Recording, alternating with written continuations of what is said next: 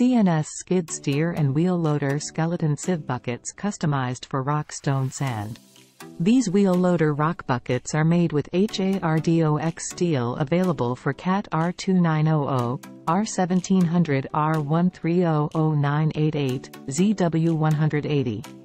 120GP can load about 12 to 14 pieces 1.0 cubic meters or 1.2 cubic meters buckets for 20-ton excavator, width less than 42 inches.